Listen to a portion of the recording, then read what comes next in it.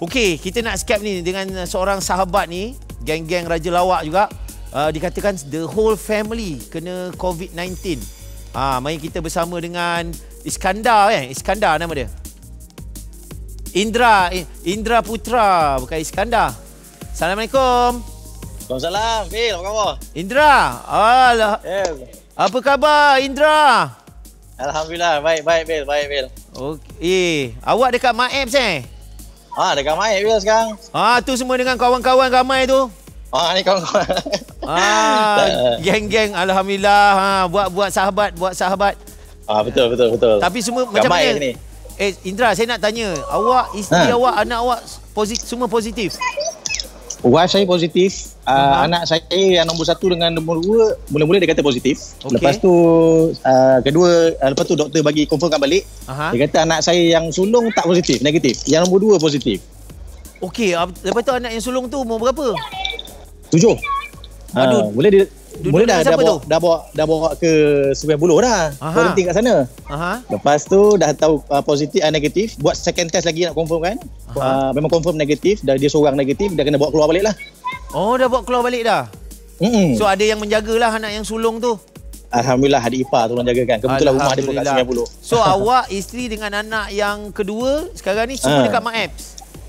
Saya dekat Mak Apps, anak saya dengan wife dekat uh, Hospital Sungai Buloh. Hospital Sungai Buloh eh.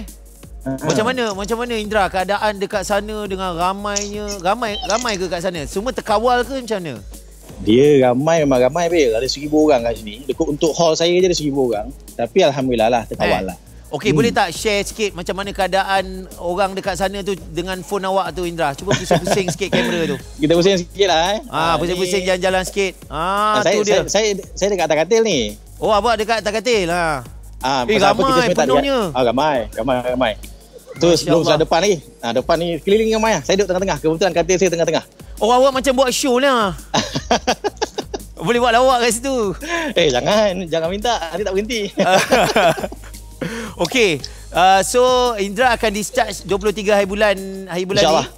ni. Ya, betul. InsyaAllah. Lagi Ah, empat hari lagi lah. InsyaAllah. Tapi keadaan dekat sana uh, selain daripada yalah menunggu untuk discharge apa lagi aktiviti dekat sana Indra?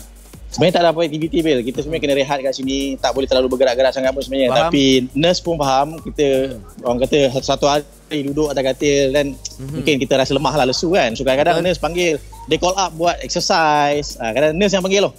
Ah. Ah, awak nampak kat dekat TikTok tu dia orang dah buat gambar exercise, Ah. video exercise kan. Ah, tu nurse yang conduct tu. Oh. Okey, Indra. So Ha. dekat sini kita boleh nampak apa tau? Kita boleh nampak uh, kesungguhan, kecekalan frontliners kita lah eh. Nurse-nurse kita, doktor-doktor kita yang menjaga korang bukan sikit-sikit tau. Ramai kat situ, Oh. betul tak? Ramai. Ah. Seribu orang kan. Ha? Dekat sini dekat hall ni je seribu. Dekat hall tu je seribu orang. Ah. Makan semua berjaga eh. Makan semua terjaga lah Indra. Alhamdulillah setakat ni tak ada lagi tak dapat makan lah. Pun dia diet diet pun dia tengok ada yang tak boleh makan pedas.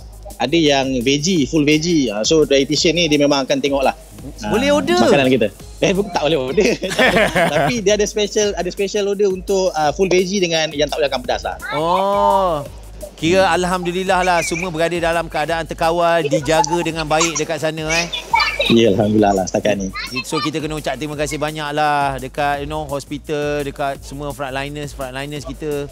Tapi Hmm, Indra, betul. macam Hmm. awak ni bila dah kena ni kan positif ni kan. Ha.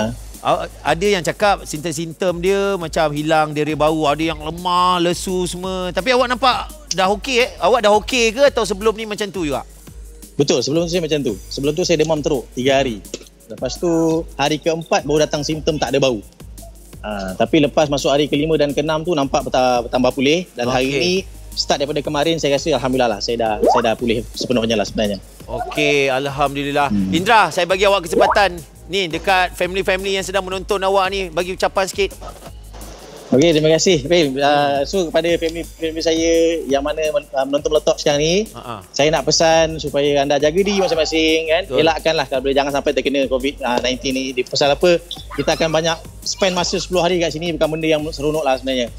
So Baik. saya harap semua dalam keadaan baik insyaAllah nanti ada masa kita berjumpa lagi lah tapi dalam keadaan. SOP yang SOP Indra, yang betul lah. Terima kasih banyak sudi luangkan masa kasih, Bil. berkongsi pengalaman di sana Indra. InsyaAllah ada rezeki kita jumpa. Jaga diri, take care. InsyaAllah. Selamat brother. Okay. Assalamualaikum. Thank you. Waalaikumsalam warahmatullahi Baik. Haha, itu dia guys. Satu hall seribu orang. Tapi Alhamdulillah, semua terjaga. Semua berada dalam keadaan baik. Kita doakan yang baik-baik untuk semua. Sekejap lagi kita ada seorang lagi pesakit. Eh, bukan, dia bukan pesakit. Dia nak mempromosikan uh, drama dia. Ah, ni pasal potong-potong ni apa cerita. Hazama akan bersama kita sekejap lagi. Jangan ke mana-mana guys. Kembali selepas ini. Malatop.